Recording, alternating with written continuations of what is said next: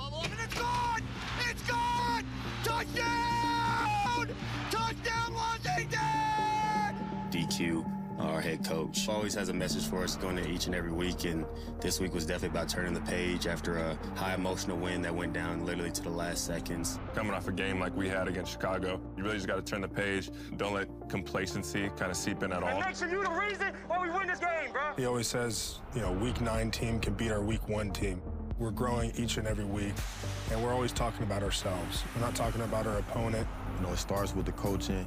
When I first got here, you know, I just don't think winning was important, you know, in this building. And now you can see it, you know, in the coaching and everybody that's stepped foot in this building. Winning time moments. Yeah. They matter. Ah! I didn't understand culture, to be honest with you, prior to DQ getting here. It's crazy what he's been able to do in such a short amount of time. That's the wolf. There's a phrase in the league, you're either coaching it or allowing it to happen. In this building, what the coaches emphasize every week is that we have extremely high standards. And if you're not meeting those standards, you're going to get called out. And if you continually don't meet the standards, you're not going to play. It's hard not to believe what you're seeing. This is better than expected, and now it's good, like really good. Ain't nothing better than winning, especially winning with a, a group of guys that doesn't take winning for granted. Let's go. Family on three. One, two, three. That recipe of just caring for one another, knowing that your individual self is not bigger than the team. When you have a, a culture and a, a coaching staff that preaches that day in, day out, it's not something that we have to turn on. It becomes a way of life. It's just what we do, and this is who we are. Jayden Daniels has done it again!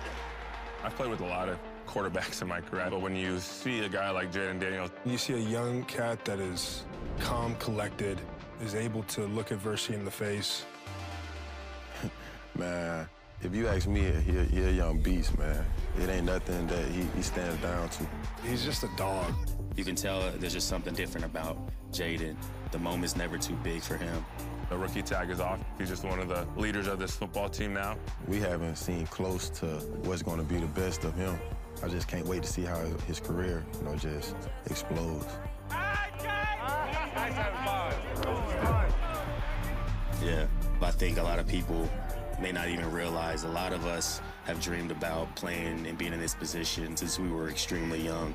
We get to play a kid's game. Unbelievable catch by McLaurin! I do feel younger being here from that joy in the process. Let's go, one seven. There's a common goal. There's unity from the top down. And there's no better feeling than that.